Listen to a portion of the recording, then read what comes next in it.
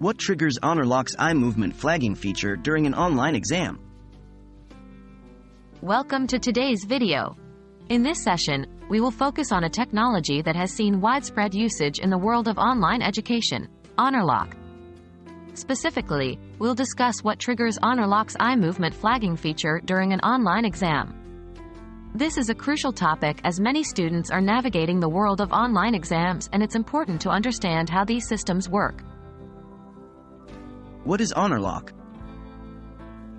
Before we delve into the specifics of the eye movement flagging feature, let's provide a brief overview of HonorLock. HonorLock is an online proctoring service used by educational institutions to maintain academic integrity during online exams.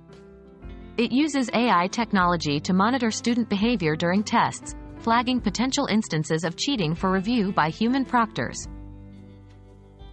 How does HonorLock's eye movement flagging feature work? The main goal of HonorLock's eye movement flagging feature is to detect unusual or suspicious activity during an online exam.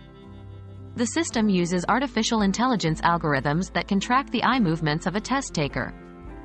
This is designed to detect if the student is looking away from the test screen frequently or for prolonged periods, which may indicate they are looking at unauthorized materials or getting external help.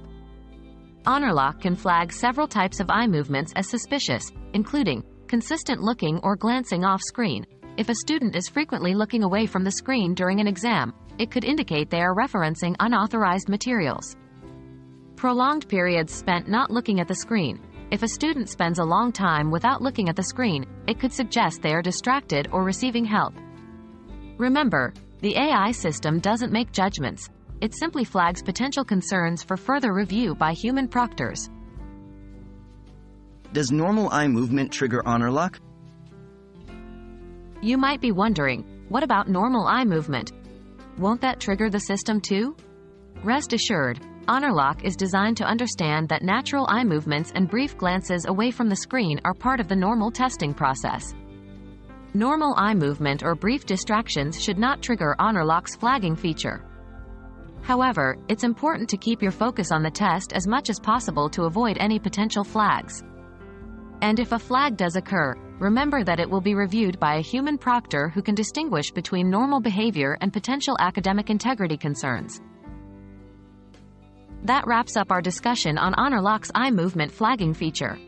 By understanding how this system works, you can confidently navigate your online exams knowing what behavior could potentially be flagged as suspicious.